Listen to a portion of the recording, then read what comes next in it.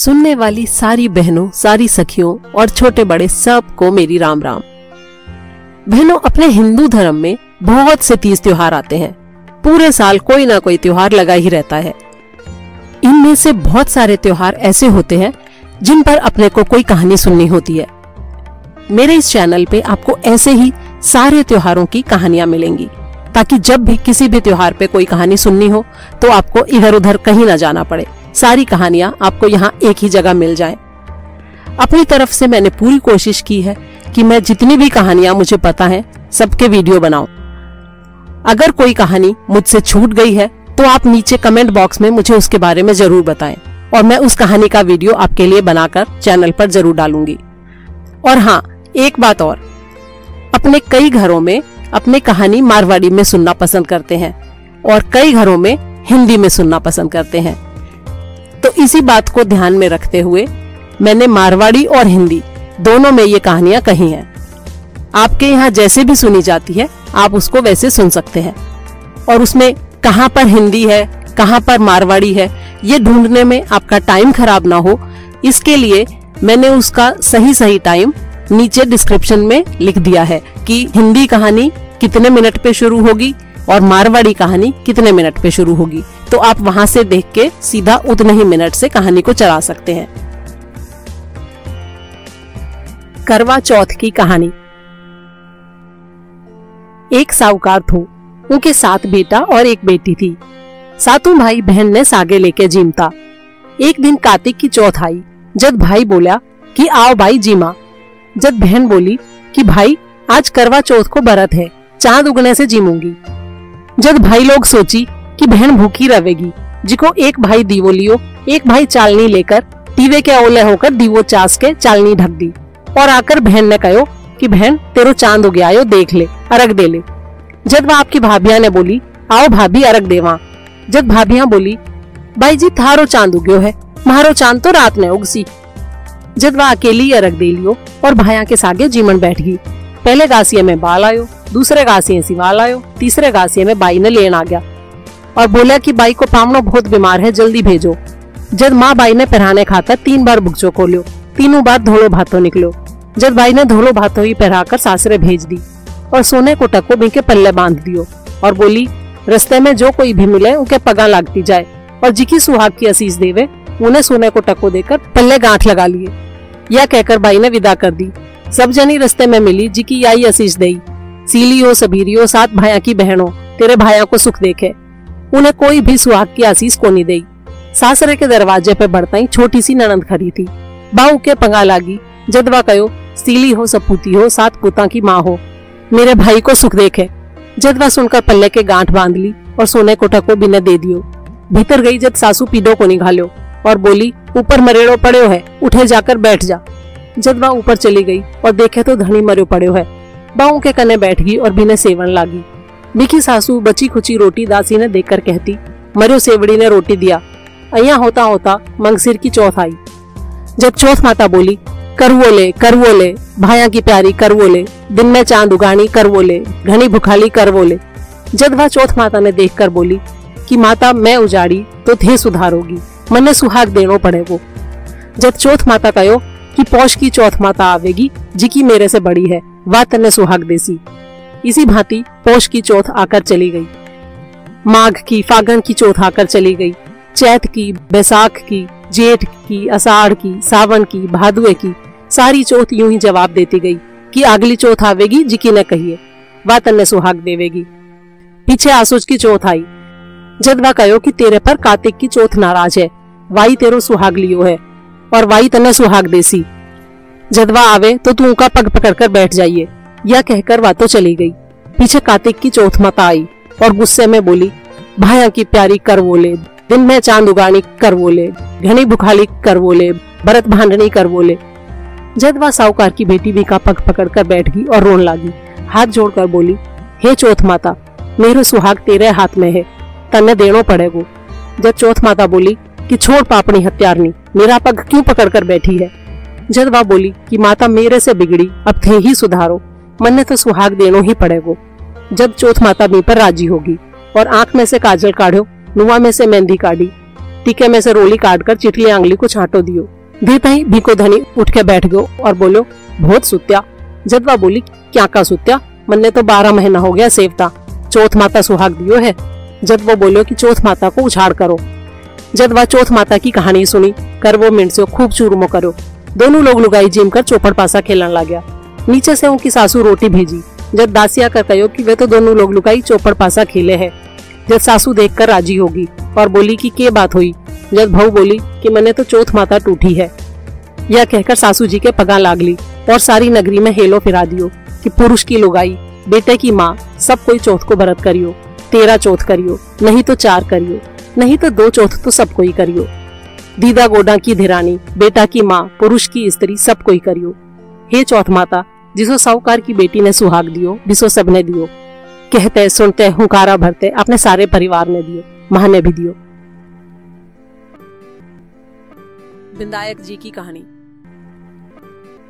एक बुढ़िया माई थी जी की एक बेटो, एक बहू थी। बेटो दूसरे गाँव कमाने गयो। जब बुढ़िया माई पीछे से आपकी बहू ने बहुत दुख देती, कुछ अच्छो खाने पीने भी को नहीं देती। जब वह बहू के करती, कठे भी कले वो पड़ो रहते हो, जिको खा लेती, थोड़ो खिंडा देती। सासू पूछती कि कले वो कठे गयो? जब कह देती कि चूसा खागा होसी। उना के घर में चूसा बहुत था। अया बोला, सारा दिन हो गया। बारह महीना से बीको धनी घर आवे तो जब वह भाव आपके मन में सोचे कि काल मेरो धनी आवेगो जिको खूब सुदिया उठ के सारो काम कर लेंगी उठीने बिंदायक जी महाराज सोचो कि यार रोजीना कले वो खा लेवे और सासू से झूठो चूसा को नाम लगा देवे, सो इन्हें झूठ बोलन को चुटकलो दिखानो चाहिए। जब रात ने वह बहू आपकी कोठरी में किवाड़ बंद करके सोती और आपकी धोती ने खूंटी पर टांग देती। वह दिन भी वह ही करी।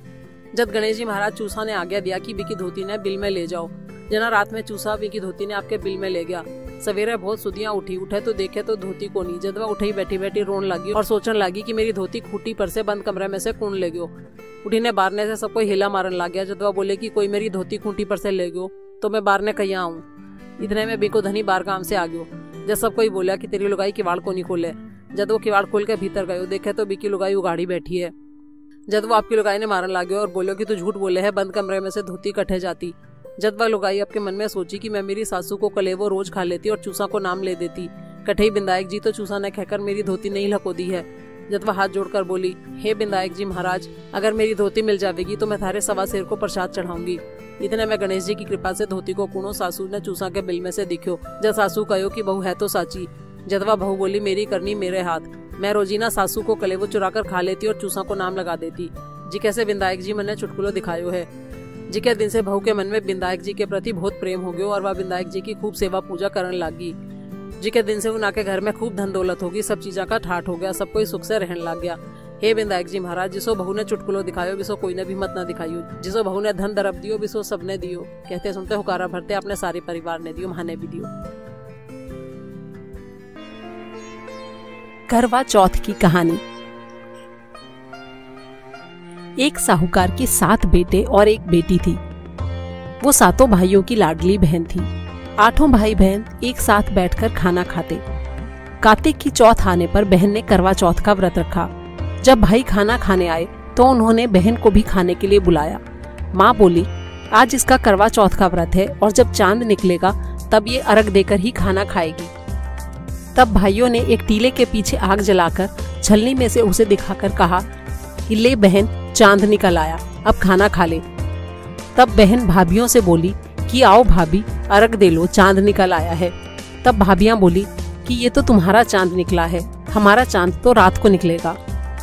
बहन चाँद को अर्घ देकर भाइयों के साथ खाने बैठ गई। पहला टुकड़ा तोड़ा, उसमें से बाल निकला। दूसरा टुकड़ा तोड़ा तो छींक मारी।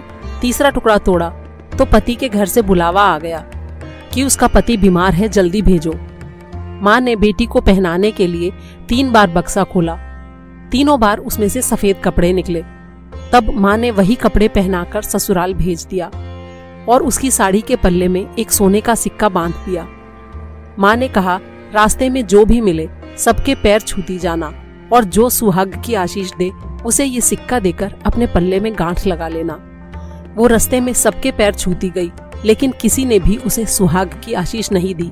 सबने यही आशीष दी, ठंडी हो, सब्र करने वाली हो, सात भाइयों की बहन हो, अपने भाइयों का सुख देखने वाली हो। जब ससुराल पहुँची तो दरवाजे पर छोटी सी ननद खड़ी थी।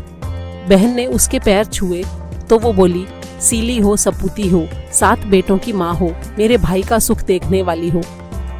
ये आशीष सुनकर उसने सोने का सिक्का ननद को दे दिया और अपने पल्ले में गांठ लगा ली। अंदर गई तो सास ने कहा कि ऊपर कोठरी है, वहाँ जाकर बैठ जा। जब वो ऊपर गई तो उसने देखा कि उसका पति मर चुका है। वो उसी कोठरी में रहने लगी और उसकी सेवा करने लगी। उसकी सास दासी के हाथ बची खुची रोटी देकर भेज देती। एक महीने बाद चौथ माता आई और बोली करवा ले करवा ले भाइयों की प्यारी करवा ले दिन में चाँद उगानी करवा ले ज़्यादा भूखी करवा ले तब उसने चौथ माता के पैर पकड़ लिए और बोली कि, माता, मुझसे गलती हुई। मेरा सुहाग वापस दे दो। तब उसने कहा कि, अगले महीने की चौथ आएगी। वो मुझसे बड़ी है। वो तेरा सुहाग देगी। ऐसा करते करते मंगसिर महीने की चौथ आई और चौथ माता गुस्से में बोली करवा ले करवा ले भाइयों की प्यारी करवा ले दिन में चाँद उगाने वाली करवा ले ज़्यादा भूखी करवा ले तब वो चौथ माता को देखकर बोली कि माता, मैंने बिगाड़ी है, आप सुधारोगी। आपको मुझे सुहाग देना पड़ेगा। तब चौथ माता बोली, पौष की चौथ माता आएगी, वो मुझसे बड़ी है, वो तुझे सुहाग देगी। इसी तरह पौष की चौथ आकर चली गई। माघ की, फागुन की, चैत की, बैसाख की, जेठ की, आषाढ़, सावन भादुआ सारी चौथ यूँ ही जवाब देती गई कि अगली चौथ आएगी, उसे कहियो, वो तुझे सुहाग देगी। फिर आसोज की चौथ आई। तब उस चौथ ने कहा कि तेरे ऊपर कार्तिक की चौथ नाराज़ है। उसी ने तेरा सुहाग लिया है और वही तेरा सुहाग वापस देगी। जब वो आएगी तो उसके पैर पकड़कर बैठ जाइयो। इतना कहकर आसोज की चौथ चली गई। अगले महीने कार्तिक की चौथ माता आई। वो गुस्से में बोली, भाइयों की प्यारी करवा ले। दिन में चाँद उगाने वाली करवा ले। ज़्यादा भूखी करवा ले। बरत तोड़ने वाली करवा ले। तब साहूकार की बेटी उसके पैर पकड़कर बैठ गई और रोने लगी। हाथ जोड़कर बोली, हे चौथ माता, मेरा सुहाग तेरे हाथ में है, तुझे देना पड़ेगा।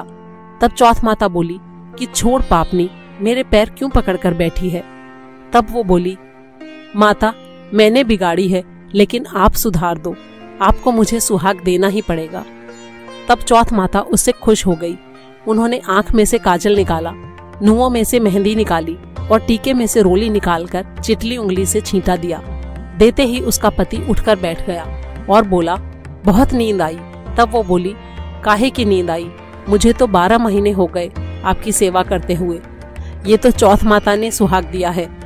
तब वो बोला कि हम चौथ माता का उजमन करेंगे। तब उसने चौथ माता की कहानी सुनी, करवा मिंसा खूब चूरमा बनाया।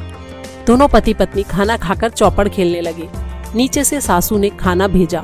तब दासी ने कहा कि वो तो दोनों मर्द लुगाई चौपड़ खेल रहे हैं। सासू दौड़ी दौड़ी आई और उन्हें देखकर बहुत खुश हुई और बोली कि बहू, ये तूने कैसे किया? तब बहू बोली कि मुझे तो चौथ माता ने सुहाग दिया है।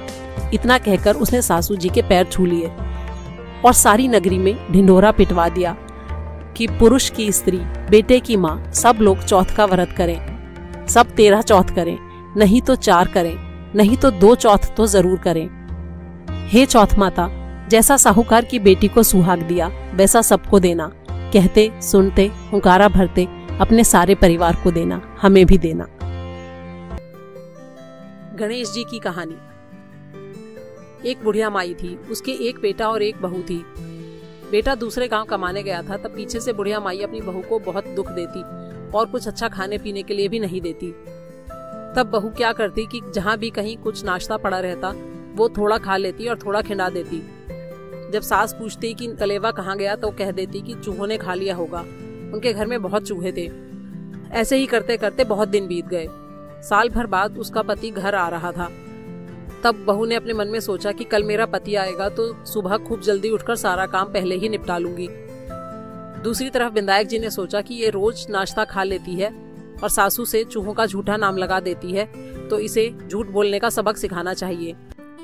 बहू को आदत थी कि रात को अपनी कोठरी में किवाड़ बंद करके सोती और अपनी धोती को खूंटी पर टांग देती थी। उस दिन भी उसने ऐसा ही किया। गणेश जी ने अपने चूहों को आज्ञा दी कि उसकी धोती को उठाकर अपने बिल में ले जाओ। चूहों ने ऐसा ही किया। सुबह जब बहू उठी तो उसने देखा कि उसकी धोती नहीं है। वो वहीं बैठी बैठी रोने लगी और सोचने लगी कि बंद कमरे में से उसकी धोती कौन ले गया। तब तक सुबह हो गई और बाहर से सब लोग उसे आवाज़ लगाकर बुलाने लगे, लेकिन वो बोली कि, कोई मेरी धोती ले गया तो मैं बाहर कैसे आऊँ? इतने में उसका पति भी दूसरे गाँव से आ गया। सबने उसे कहा कि, तेरी पत्नी किवाड़ नहीं खोल रही है। वो किवाड़ खोलकर अंदर गया। उसने देखा उसकी बीवी बिना साड़ी के बैठी है। उसने उसे खूब मारा और बोला कि, तू झूठ बोल रही है, बंद कमरे में से धोती कहाँ चली जाती? तब बहू को ये बात याद आई कि मैं अपनी सास का कलेवा रोज खा लेती थी और चूहों का झूठा नाम लगाती थी। कहीं गणेश जी ने तो मेरी धोती नहीं छुपा दी है। वो मन ही मन हाथ जोड़कर बोली, हे गणेश जी महाराज, अगर मेरी धोती मिल जाएगी तो मैं आपके सवा किलो का प्रसाद चढ़ाऊँगी। इतने में गणेश जी की कृपा से धोती का कोना सासू को चूहों के बिल में से नज़र आया। तब सास ने कहा कि हाँ बहू तो सच बोल रही है। तब बहू ने अपनी गलती मानी और कहा कि मैं रोज आपका नाश्ता चुराकर खा लेती थी और चूहों का झूठा नाम लगाती थी। इसीलिए बिंदायक जी ने मुझे सबक सिखाने के लिए ये किया है। उस दिन से बहू के मन में गणेश जी के लिए बहुत प्रेम और भक्ति पैदा हो गई और वो उनकी खूब सेवा पूजा करने लगी। उनके घर में खूब धन दौलत हो गई और सब चीज़ों के ठाठ हो गए। सब लोग सुख से रहने लगे। हे गणेश जी महाराज, जैसा बहू को सबक सिखाया, वैसा किसी को भी मत सिखाना। जैसा बहू को धन दौलत दिया, वैसा सबको देना, कहते, सुनते, हुकारा, भरते अपने पूरे परिवार को देना।